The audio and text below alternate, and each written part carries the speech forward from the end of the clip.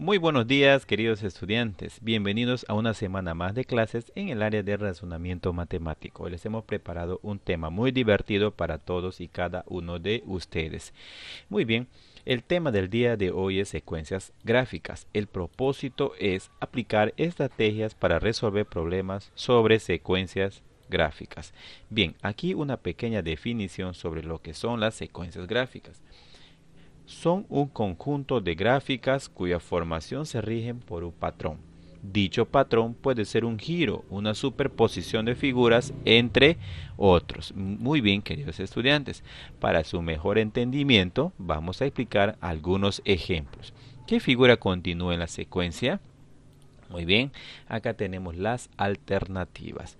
Bien, analizamos la primera figura tenemos un círculo y dentro de ella un triángulo. En la siguiente figura un triángulo y dentro de ella un círculo. En la tercera figura un círculo y un triángulo dentro. Ojo, se repite con la primera, ¿no? Y nos podemos dar cuenta que la cuarta figura también se repite con la segunda. Entonces, analizamos muy bien, el patrón sería círculo, triángulo, círculo, triángulo. Entonces la figura que sigue viene a ser un círculo con un triángulo dentro. Marcamos la respuesta correcta que es la letra B. Ahora sí pasamos a los ejercicios. ¿Qué figura sigue en la secuencia? Muy bien. Para, para saber qué figura continúa debemos analizar muy bien figura por figura y símbolo por símbolo. Muy bien.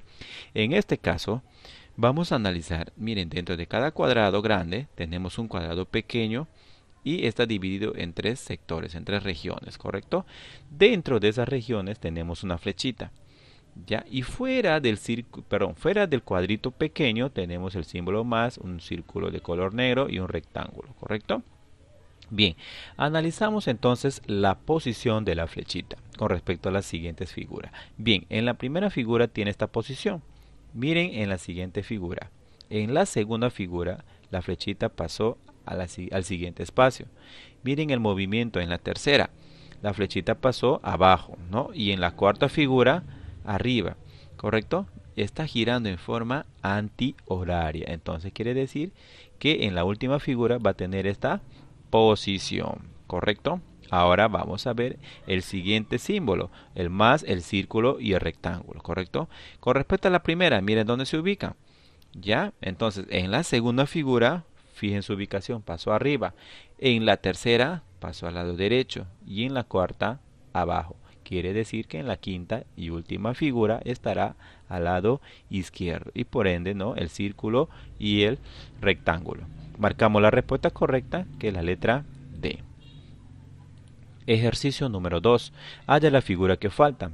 Si se dan cuenta, a ver, tenemos las alternativas.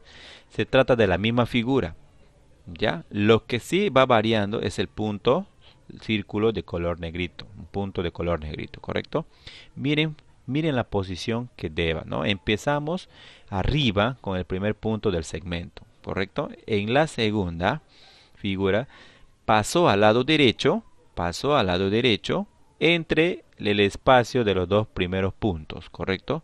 En la tercera de la derecha pasó a la izquierda y junto al punto del centro del segmento, ¿correcto? En la cuarta figura pasó nuevamente al lado derecho y se ubica entre los dos últimos puntos del segmento. Quiere decir entonces que en la última figura se va a ubicar al lado izquierdo y junto al último punto del segmento. Muy bien, marcamos la respuesta correcta que es la letra C. Ejercicio 3. Indica qué figura completa la secuencia. Muy bien, acá tenemos las alternativas. Bien, tenemos en todos un cuadrado, dentro de ella un pentágono, ¿correcto? Miren el pentágono, en todos ellos tenemos un pentágono. ¿Correcto? En la primera figura tenemos el pentágono apuntando hacia arriba sin ninguna línea dentro. En la segunda figura el mismo pentágono apuntando hacia abajo pero con una línea dentro. En la tercera figura el mismo pentágono apuntando hacia arriba pero con dos líneas adentro. En la cuarta figura el mismo pentágono apuntando hacia abajo con tres líneas. Quiere decir que la última figura se trata del mismo pentágono, pero con cuatro líneas. ¿Correcto? Marcamos la alternativa que es la letra D. Ejercicio número 4. ¿Qué indica qué figura completa la secuencia? Tenemos ahí las alternativas. Muy bien. Tenemos tres cuadrados. Dentro de cada cuadrado un, un círculo y dentro del círculo un pequeño círculo. ¿Correcto? En la segunda figura, los mismos círculos, pero el círculo pequeño con una línea horizontal. En la tercera figura, los dos círculos y aumentado con una línea vertical, aparte de la horizontal, ¿correcto? Quiere decir que en la última figura también serán los dos círculos con la línea vertical, horizontal y aumentado con la línea diagonal, ¿correcto? La única que tiene en las, en las alternativas es la letra B.